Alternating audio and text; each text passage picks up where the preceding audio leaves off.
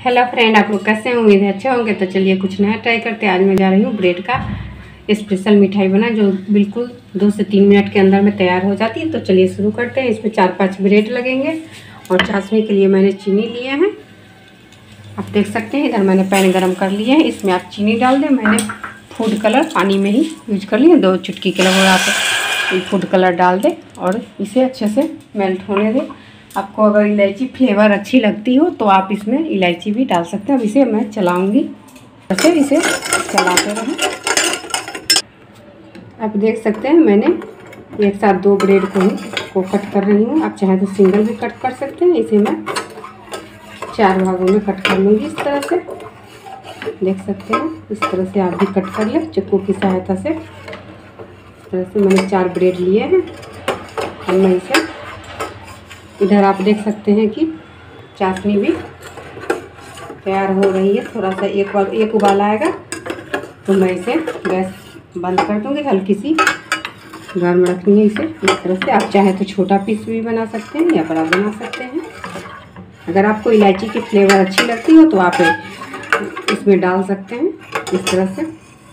तो आप देख सकते हैं, मैंने यहाँ सबको काट लिए हैं। देख सकते हैं, चाशनी तैयार हो चुकी है। इसको इस साइड में रख लेती हूँ।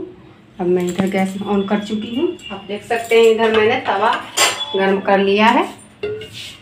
उसके बाद में आप चाहें तो थोड़ा सा इस पर बटर डाल करके इसे सेक सकते हैं। इस तरह से थोड़ा सा बटर डाल दें। बटर हो, घी हो।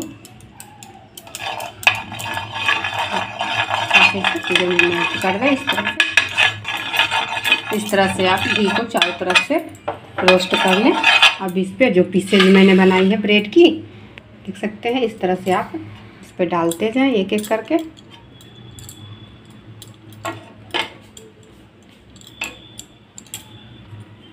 जितना तवा में आ पाए उतना आप डाल दीजिए। मतलब फ्लेम को ज़्यादा तेज़ मत रखिए। इस तरह से आप भी पलट लें। इस तरफ़ से, दोनों तरफ़ से करा हो जाना चाहिए। ये मिठाई बहुत ही टेस्टी और यम्मी आपको लगेगी, कोई भी मेहमान आए, आप तुरंत झटपट ब्रेड मंगाइए और इसे तुरंत बनाइए और सर्व कीजिए। बच्चे भी बड़े ही चाव से इसे खाते हैं। इस तरह से दोनों तरफ़ से सीख जाएगा। उसके बाद मैं आगे का प्रोसेस आप लोग को दिखाती हूँ। देख सकते हैं, मैंने सारे को सीख लिए हैं। इस तरह से देखिए कितने क्रिस्पी ये लग रहे हैं। इस तरह से अब इसे आप चाशनी में इस तरह से एक एक करके डालें। दोनों तरफ़ से इसे इस तरह से चिमटी की सहायता से तरह से भिगो, देखिए। इस तरह से आप भी भिगो डालें, ऐसे और भी डालते जाए इस तरह से।